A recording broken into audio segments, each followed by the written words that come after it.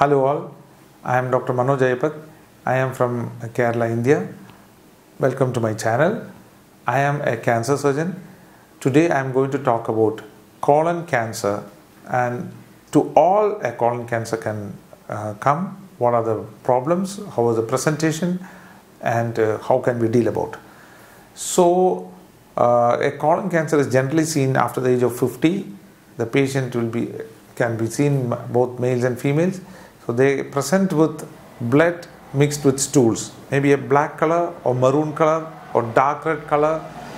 So that is a general presentation. They'll have alteration of the bowel habits. Sometimes they'll have constipation, sometimes they'll have loose stools, sometimes their tummy comes and distends. So these are the alteration in the bowel habits a very important feature. Then they have, can have abdominal pain and they may present with anemia that is blood loss. Your hemoglobin level in the blood is low. That may be a presentation. Sometimes it produces complications like intestinal obstruction. That is like your tummy starts distending, you start vomiting out, uh, even you vomit out the bile. You may not pass your motion. You may not pass even your flatus, or some kind of abdominal discomfort, persistent abdominal discomfort after the age of 50. So you, there may be a weight loss. You may not like to eat food, so loss of appetite is another feature. And sometimes you have abdominal distension. Such are the features of uh, colon cancer. So, what should be done? To whom all this colon cancer can come? It can come sporadic, without any cause, it can come. Sometimes, uh, if a patient is having a polyp, as a small growth in the uh, intestine or large intestine, it can transform to a, a cancer. Sometimes it can be genetic it can run in the family if a father or your grandfather is having a colon cancer the chance of having you cancer is high sometimes it may be syndromic there are certain group of cancers which come together in a patient like FAP, familial adenomatous polyp, HNPC is hereditary non-polyposis coli. These are the few syndromic cancers or it can happen without any cause. So there are different reasons, various reasons why a patient can have colon cancer. So once uh, you think that your tummy is not well, you have some alteration bowel habits, what should be done? You should immediately visit a doctor, especially the best will be a surgeon.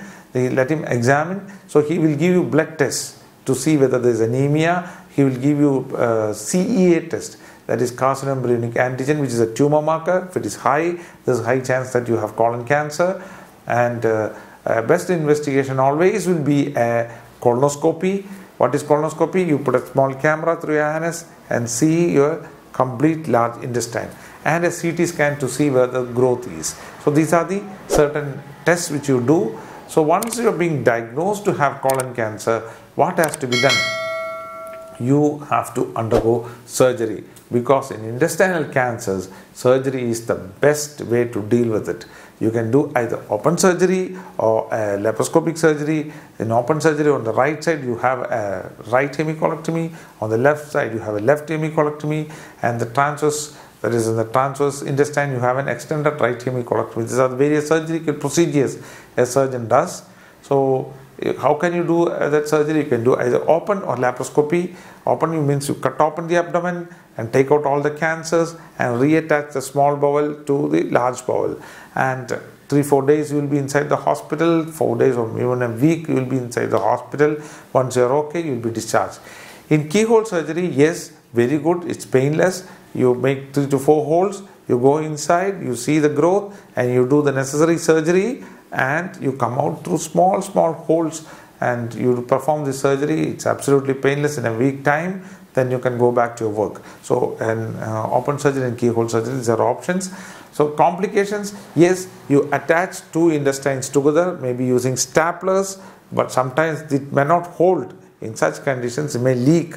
So leak uh, of the uh, motion into your tummy is one complication can bleed. So these are very rare complications. Anyways you have to undergo surgery. So that is how uh, you deal with the cancer. Then what will happen next you send all this cancer to biopsy from the biopsy they will assess whether it is spread or not if it is not spread then you don't need to take chemotherapy if it is spread then you have to take chemotherapy. It, may, it is either tablets or injections. It is very safe now. Uh, you will not have uh, hair loss there.